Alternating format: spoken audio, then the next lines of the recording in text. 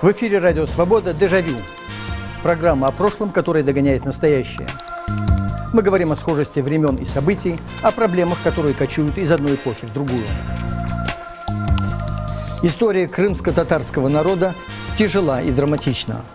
В XVIII веке их хотела поглотить Российская империя, в 20-м их пытались уничтожить советские коммунисты, в 21-м у них опять отнимают Крым. Они выживали на чужбине, возвращались домой и в схватках с тупой государственной силой отстаивали свое право на самостоятельную жизнь.